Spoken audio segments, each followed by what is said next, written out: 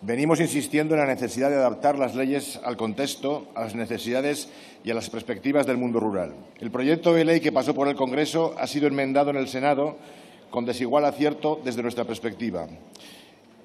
Ya mostramos allí nuestro rechazo a la enmienda que presentó el PSOE para prohibir la quema de restos vegetales de los huertos, a pesar de que se había retirado la prohibición en la tramitación de esta nueva ley de gestión de la PAC en el Congreso enmienda que finalmente fue aprobada por la Cámara Alta como nueva disposición final undécima y que solicitamos que no sea apoyada. A pesar de las, especificaciones que se pretenden introducir en relación con la quema de residuos agrarios en microexplotaciones, entendemos que la redacción no aporta seguridad jurídica, porque en ella caben interpretaciones distintas acerca de estas prácticas para dar soporte a decisiones de carácter administrativo que deberán adoptar luego las comunidades autónomas. Mientras los que los agricultores, con el texto de la ley, desconocen realmente cuál debe ser su modo de proceder al respecto, qué razones justifican las restricciones de estas prácticas o cómo llevar el día a día el reciclado mediante el tratamiento biológico de la materia orgánica.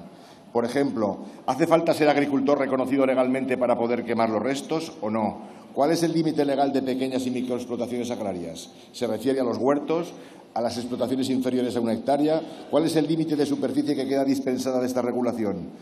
¿Es justo abrir la posibilidad de sancionar a los hortelanos por quemar estos restos? ¿No sería más adecuado que la ley que prioriza el reciclado de los restos vegetales mediante tratamiento biológico de la materia orgánica abriese un periodo para poder difundir e interiorizar esta práctica? ¿Se ha considerado al adoptar esta posición que el mismo agricultor, mediante sus cultivos y el crecimiento ordenado de plantaciones agrícolas, ha contribuido ya previamente a fijar CO2? Por otro lado, ¿se ha valorado el mayor impacto, si es necesario, del transporte de los residuos a una cierta distancia del huerto o de la microexplotación y la, y la destrucción mecánica de restos utilizando máquina que consume gasóleo? O del mismo modo, ¿hace falta aportar un informe técnico de parte para decir que hay riesgo fitosanitario?